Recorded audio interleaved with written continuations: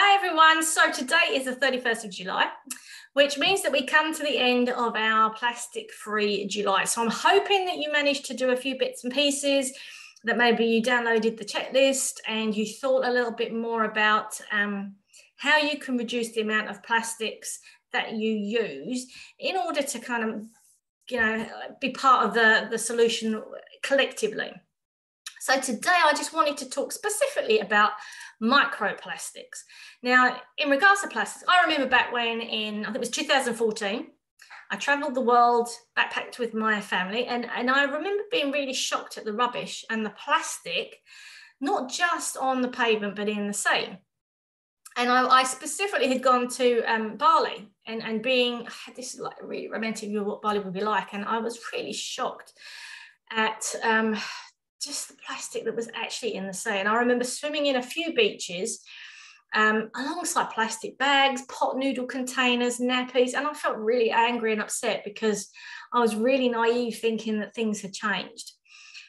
It made me think about all the sea creatures that have to swim with all this junk all the time. And now I've just been doing some, some research, not just on plastic, but on microplastic. But in regards to plastic, according to recycle.co.nz, there's approximately about 252,000 tonnes of plastic waste disposed of to New Zealand landfills every year. Greenpeace reported that New Zealand exports 98,000 tonnes of just plastic waste. We actually ship it offshore, and that was between um, January 2018 and March 2021. 98,000 tonnes of plastic we actually shipped offshore for other people to deal with. And New Zealanders, um, uh, they've done some um, studies that show we throw away an estimated 159 um, grams of plastic waste per person um, every time, which makes us, I think it's actually more than 159, I think it's 159,000 grams of plastic waste per person, um, which makes us some of the highest waste generators in the world.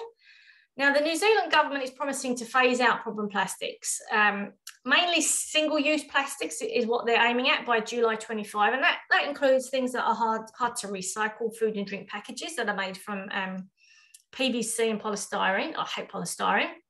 And even some degradable plastic products as well, because some of them are not breaking down if you put them into landfill.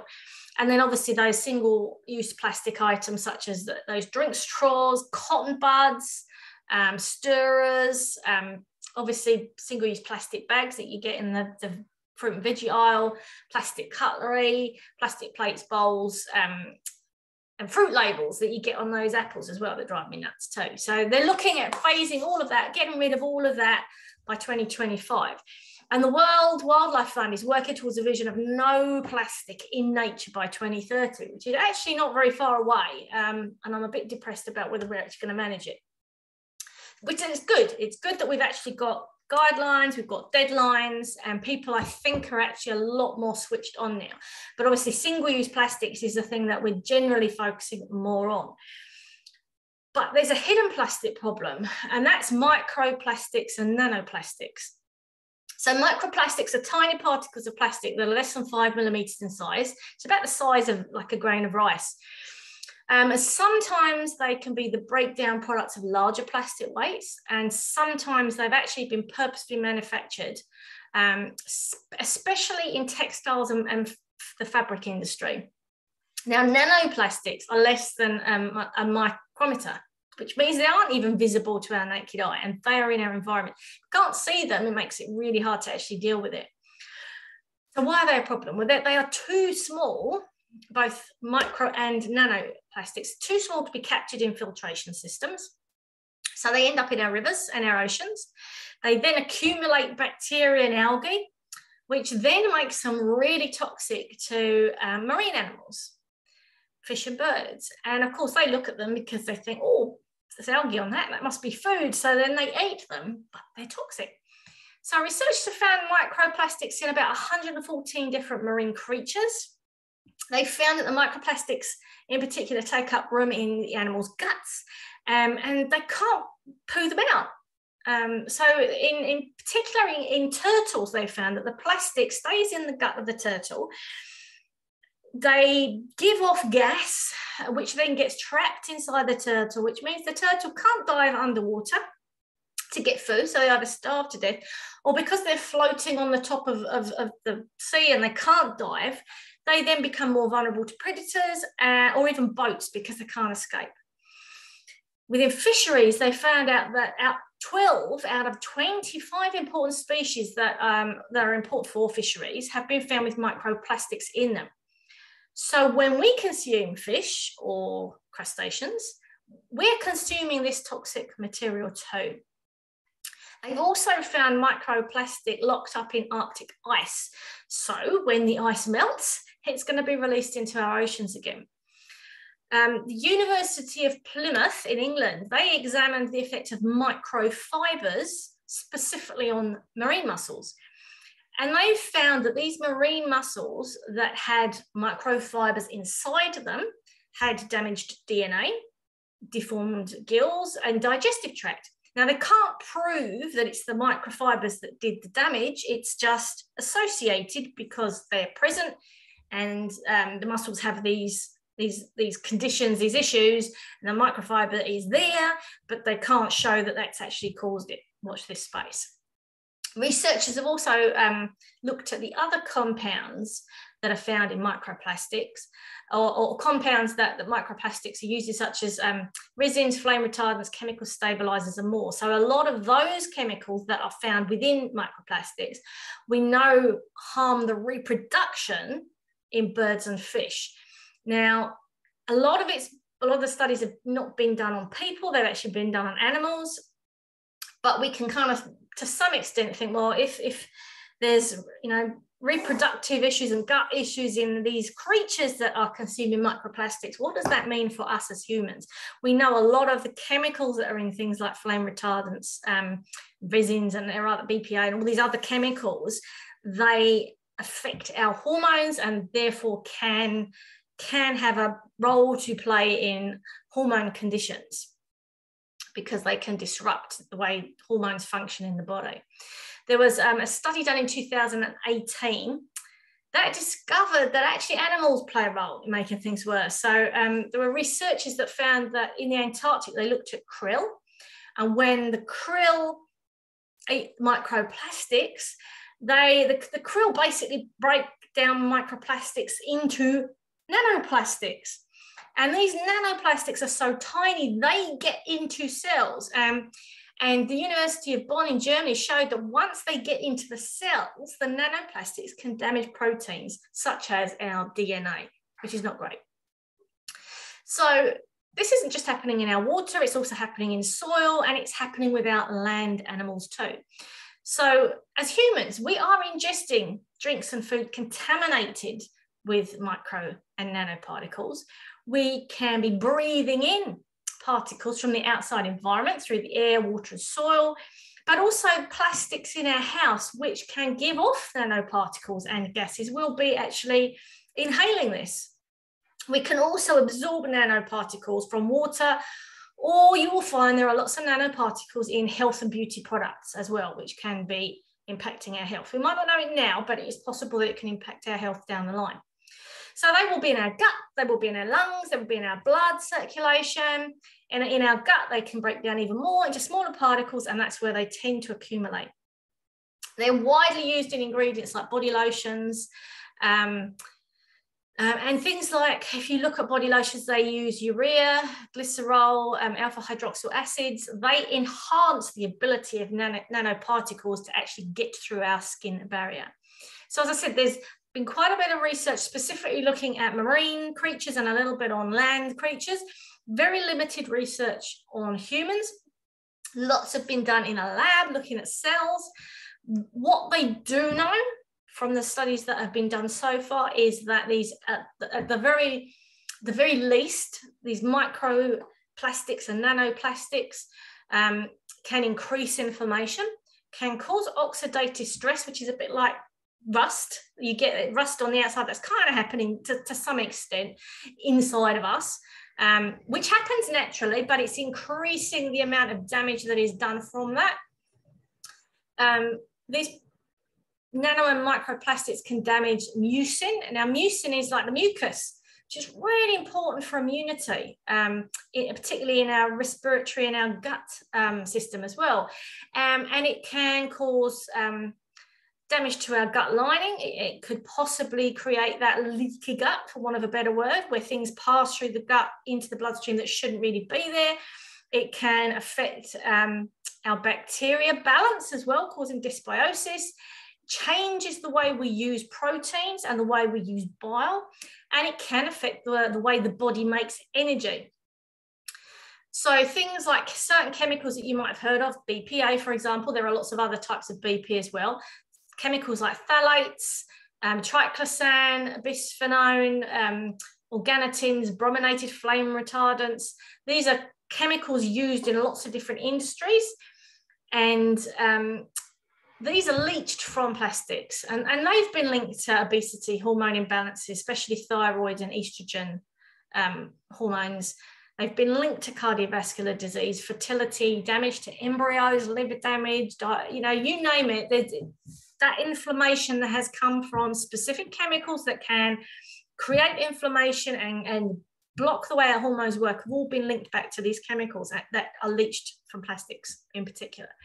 So having depressed you, what can you do about it? Now let's talk about where you can find microplastics from. So Num number one is that you know getting rid of these single-use plastics is really really important because they can break down to these other um, micro particles.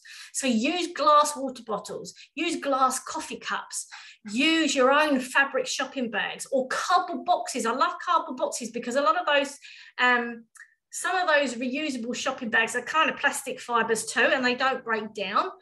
So use cardboard boxes. Take your own containers. Um, to the shops and put put stuff in your in your boxes. So try not to just constantly get these reusable bags because sometimes they're actually not helping either. Take your own containers for takeaways. Don't use straws or plastic cutlery or um, polystyrene containers. I hate them. Don't use them. That's like the number one thing to do. Secondly is gym wear. So it's the number one clothing that uses microplastic fibers. So anything that's, um, that's sweat wicking, that's breathable, lightweight, they tend to be petroleum-based fabrics. Um, and Newcastle University researchers found that for every wash, these fibers released somewhere between 500,000 and 6 million microfibers per wash, depending on the garment. That's a huge amount of microfibers. So highly recommend if you've got that gym wear, you can buy bags called guppy bags, or I think there's something called Guppyfriend in New Zealand. You put your active wear in the bags. They trap the microfibers in the bag, which stops them going down the drain into the water, which then affects our marine life. So if you've got any of that sweat wicking gym wear, which you may very well do, I know I do, use these bags to stop those microplastic fibers getting into our oceans. Number three, personal care products away from anything that has micro beads in. Um, they're polyethylene. So they've been banned from a lot of countries, but not all. So don't use products that contain polyethylene, sometimes it's called PE, um, polypropylene, which is PP, um, nylon, um, there's something called PET, polyethylene um, terephthalate, anything with phthalates in, anything with polymethyl in the title. Don't use them and be really careful. If you can see anything that's got like micro beads or nano beads, do not use them. Okay, they're not good for us and they're not good for the environment. Sanitary products use a lot of plastic. So whether it's your, your tampons or your pads, be really careful about what you use because if you think like that, you've got the plastic sticky thing that sticks to your pants, you've got the plastic containers around the pads, uh, and, and a lot of them will, you know, a lot of Tampax have got plastic within the Tampax, for example, so or tampons. So please be careful with sanitary products. There are cups now, there are period knickers that are awesome. There's TENA, TENA Lady knickers now for bladder leakage. So there's a huge amount of options out there. So when you're buying your sanitary products, um, please have a look to see what you can do to reduce the amount of plastic waste, um, which is huge. I mean, you can you can get cloth um, panty liners. Um, I haven't seen them as much as I that we used to get them in organic shops. So be a bit more discerning about the sanitary products you use. And if you can get something that is reusable, um, like your period knickers or cups, then please consider using those. Next thing, tea bags. Most tea bags contain plastic, not all. Um, poly, polypropylene is added to paper bags to give them strength. Silken tea bags are usually made from nylon, the PET, or a plastic called PLA. So be really discerning about the tea bags that you get and what the tea bags are made from. Sometimes they use um, kind of specific kind of plastic glues to seal the tea bags as well. So loose leaf tea is best. There's heaps of options for your infusers. That's a really, I mean, I love tea bags, but you know, they are adding to the plastic and the environment. So buy loose leaf tea if you can and use infusers. Cigarettes. So the filters in cigarettes um, contain plastic. Um, it's one of the main things found on beach cleanups. 20% of the crap found on beaches are these uh, cigarette filters. Um, we're now seeing the same thing with e-cigarettes and vapes as well. Cartridges used are plastic. They're a water hazard. The lithium batteries used in e-cigarettes plus the chemicals used for flavorings are all environmental and health hazards. So if you care about the environment, please consider not using e-cigarettes or vapes or cigarettes. Please take up knitting or something else. It's not going to be great for your health. It's certainly not going to be great for the environment. Um, if you've got a microwave, just don't microwave food that's in plastic containers because it's possible that the, what, whatever is in the plastic will leach into the food. Um, as I've said, um, maybe I'll do a talk on, on BPA, but BPA is kind of old hat to some extent. There are actually other bisphenols that are just as bad that just haven't become trendy at the moment and can cause huge amounts of problems too. So got a microwave, just make sure that you microwave in bowls or glass rather than in plastic containers. Use water filters as well. Bottled water contains plastic, and if those plastic water bottles are left out in the sun, the plastics will leach into the water and you'll be drinking that. Um, and number 10, dust and vacuum regularly. And that's in order to minimize the breathing in of plastics. Open up your windows and ventilate when you can. Again, really, really important. Spend time looking at your beauty products, your household products, and start to make tiny changes. Um, I do have a, it's an environmental toxin audit. Let me know if you want a copy. Um, just put a um, comment in, in the comments section and I will get that um, audit to you. It's just a check, not specifically of, of, of plastics, but general um, environmental toxins, just to kind of reduce the load. We can't stop it. We can't, we can't stop the exposure, but we can certainly find out a little bit more about it and we can certainly reduce our exposure by making some changes and it will impact our health as well as the health of the planet. So I hope this has been useful. I hope I haven't scared you too much. Um, there's a lot we can do. Um, so have, have fun with this. Let me know the changes that you make. Um, and thank you for taking part in Plastic Free July. Hopefully we will also do Plastic Free August, September, October, November and December. And beyond, not just one month. So have a fantastic day. Thank you for listening, and I will see you later.